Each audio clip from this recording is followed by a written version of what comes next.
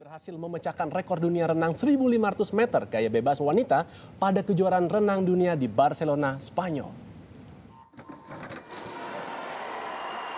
Enam final digelar pada hari ke-11 kejuaraan renang dunia FINA 2013 di Barcelona selasa siang. Atlet Prancis Yannick Engel berhasil mendapatkan medali emas keduanya di kejuaraan ini setelah memenangkan perlombaan 200 meter gaya bebas putra. Angel yang memiliki satu emas dari 4 kali 100 meter gaya bebas putra berhasil mengungguli Conor Dwyer di posisi kedua dan Denley Izotov di tempat ketiga.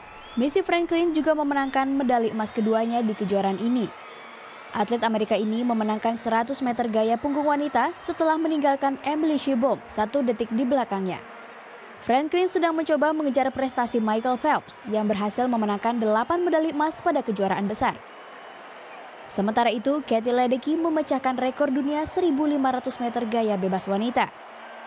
Atlet berusia 16 tahun ini gagal memecahkan rekor di 400 meter gaya bebas wanita, tapi di nomor ini dia berhasil. Ledecky bahkan menajamkan rekor dunia 6 detik lebih cepat dari rekor sebelumnya. Matt Grivers dari Amerika berhasil meraih emas di 100 meter gaya punggung putra. Graves berhasil mengalahkan rekan senegaranya David Plummer.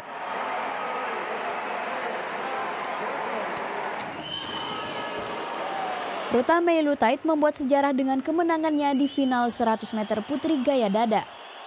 Walau tak berhasil memecahkan rekor, Ruta berhasil menjadi atlet wanita termuda yang bisa memenangkan kejuaraan yang sama berturut-turut.